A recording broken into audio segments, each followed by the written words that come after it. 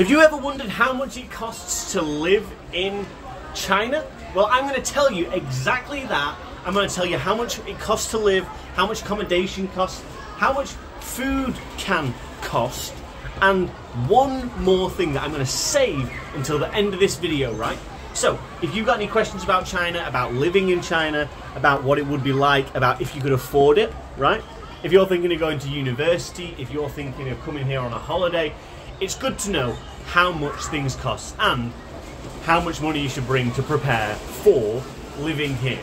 Now, if you've got any questions, drop them in the comment section below. Don't forget to like, share, and subscribe. Come to this channel for information about traveling, about China, about learning Chinese.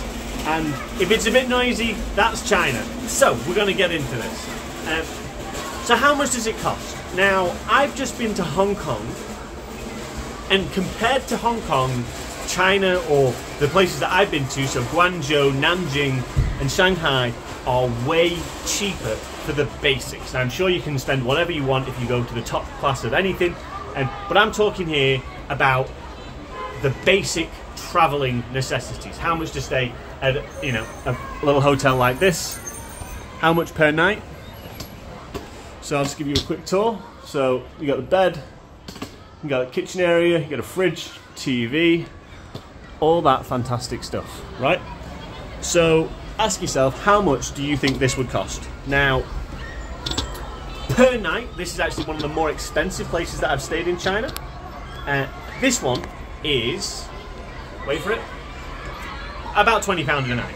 So about 200 RMB per night, and like I say, it's got a balcony, it's beautiful, so, you know, you could definitely get cheaper. Now, compare that to Shanghai. Now, in Shanghai, I was staying in a hostel. So, not a hotel like this, in a hostel. And in the hostel, I was sharing with six people in one room. Very beautiful facility. So, if you want to know the uh, details of that accommodation, just let me know. But that was about about 16 pound a night. So, you can pretty much stay anywhere for over 10 pound a night. Now, yes, it is possible to stay in places in China, mainland China, for cheaper than that. However, there's something that you really need to know about before you book the cheapest places, especially for those people looking to travel around. Now, the first thing is you'll probably be using some of the Chinese apps. I'm using like Qunar, and that's in WeChat. It's like a couple. It's a mini program in WeChat. If you have any questions about that, just let me know.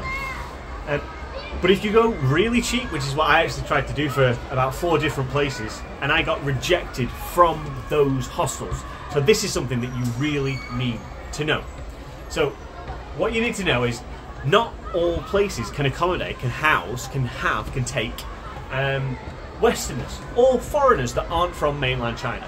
And the reason they know you're not from mainland China is because you don't have an ID card. Okay, great. So, you can't stay everywhere, so you need to know exactly how to find these little filter buttons on those apps. That's one thing that I think is crucial. It's really helped me book places like this, and it's helped me to not get rejected when I arrive and then realise, you know, I can't stay there. So I just check it's still recording. Still recording. Fantastic. Perfect. Um, so that's one thing that's super important. Now, the prices of here compared to Hong Kong blew my mind. It really did shock me, actually. And and that's because I was comparing apples to apples. You know, you can get a lovely place like this for twenty pounds in Hong Kong. I was paying the same amount, about twenty pounds, and I was staying in literally the roughest place in Hong Kong. So if you're from there, you know about Hong Kong. Uh, have a guess about where you think that uh, that place is in the comment section below, because you'll probably get it right. Because everyone that I told this is where I'm staying, they said that's the roughest place in uh, in Hong Kong, and they were right. But the price was very similar to this beautiful place that I'm staying in now, with a balcony overlooking, you know, a little, street, nice busy street. Um, so yeah, so that's one thing that's really important to know. Okay, guys, and then in addition to that, you also need to know how much the food costs. Now, I'm going to do a separate video about this food situation because it's really um, interesting. In Hong Kong, I mean, you should probably go there just to realize how cheap it is in China. Hong Kong, everything's at least three times the price for the basics. This is what I'm talking about, basics. In China, I just had a meal then, rice, beef, vegetables. It cost me two pounds. I had a meal yesterday, one pound seventy. Honestly, it's beautiful, delightful, and really nice. One thing that you might struggle with though, which I really struggle with because I'm going to the gym at the moment, is getting enough healthy protein. So, if you want to get enough healthy protein, one way you can do it is to drink milk. Drink plenty of milk. That's quite funny. There's lots of uh, little kids watching in the window. So you can drink plenty of milk, and that's good for you. Um, you can have protein shakes, which is quite hard to find. So I've managed to find some in Hong Kong, and I've brought it here because it's tasty and it means that if you're going to the gym, you can get enough of that protein. So that's really important. And so I suppose if you think about it like that, you know, for about £20 a night, stay in a beautiful place like this for maybe 10, 15 pound a day, you can have enough food for you to eat and you'll be absolutely over the moon with that. So maybe 35 pound a day. Uh, but you can do it a lot cheaper if you want. You can just go to the supermarket, get some eggs, you know, find a microwave, and bingo bango, you've got it.